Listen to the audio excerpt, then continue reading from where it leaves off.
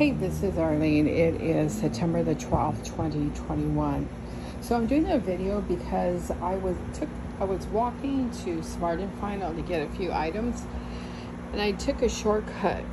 So I encountered a gang stalker who actually first started throwing trash at me and then um,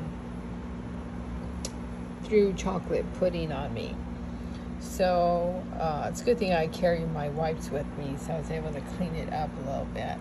So this is from a gang stalker, and he was at Chick Fil A, which is closed on Sunday. So oh, here it is. So I got some on my pants. Well, actually, he threw it at me on my pants, my shoes, and then across my T-shirt and my arms. So I wanted to do a really quick video just to document it. This is not from a homeless man. This is from this is from a gang stalker that is paid to do acts of violence at times. So um, I just wanted to do a really quick video. I'm at home now, but this happened uh, right behind Chick-fil-A. And as soon as he did what he did, he made a beeline and left. So he knew what he was doing.